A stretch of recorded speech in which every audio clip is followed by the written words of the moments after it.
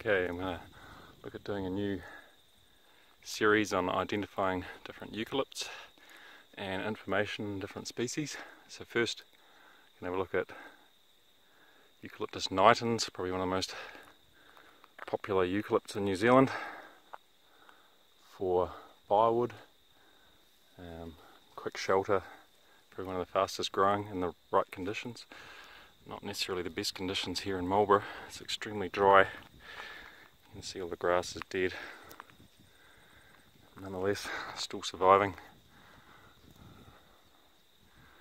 Quite a distinctive tree. Have a look at the adult up close. There's a few different subspecies of, of these with different forms. These particular ones you see a lot with that hold their branches quite low. Tend to branch right to the ground even when they're quite big like these ones are. And its neighbour there. There's other forms you see that have a lot lot clearer low to the ground. These particular ones I think are a subspecies denticulata. You can see on the leaves. Look at the notched notched edges, quite a distinctive leaf, really long, quite leathery, always dark green, almost glossy, very distinctive leaves. The only similar leaves probably globulus and the other blue gums. Quite a distinctive trunk too. It's very usually straight, quite often ribbony with all the shed bark like this one is. Under the bark's usually a sort of yellowish, creamy colour. You can just see up. Light's not very good there.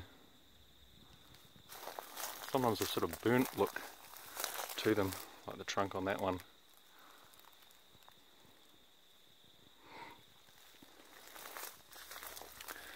And have a look at the fruit and the flowers. This one has a lot of buds on it. Can see the little bud, very small flowers. This one's got little bud clusters on it, always in sevens with a central six with one in the centre. There's some a bit further developed there, quite small. Don't normally have a lot of flowers on them in New Zealand or here in this region compared to other eucalypts that are covered in flowers. Have a look at some of the fruit that are ripe. Ripe fruit here, very small, sort of barrel shaped. You can see the valves on top there. Valves tend to stick out a wee bit.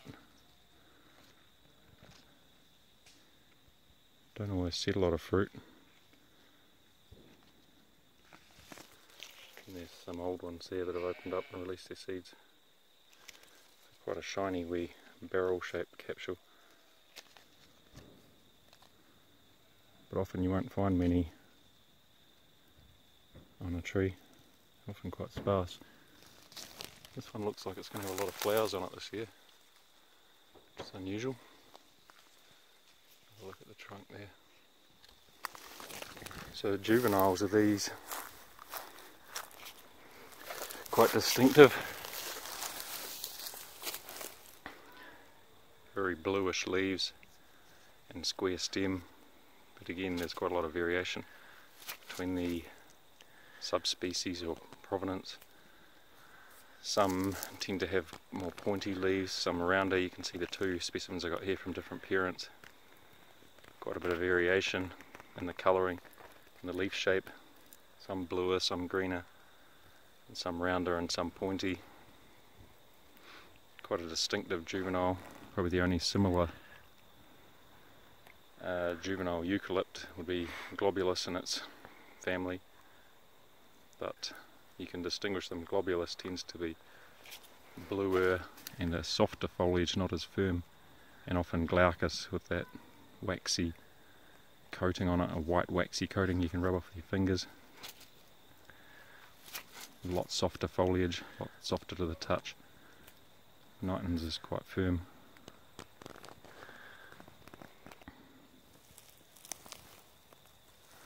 So I got some information here from a couple of New Zealand books. Um, I'll put up a couple of screenshots and the covers if you want to go and read further. Um, I'm sure the authors won't mind, I think they're both dead. So I'll just put a couple of seconds of each there and you can pause the video and go and read them, a lot of good information there. And subscribe or check back later and I'll have some other popular eucalypts uh, identification guides and information.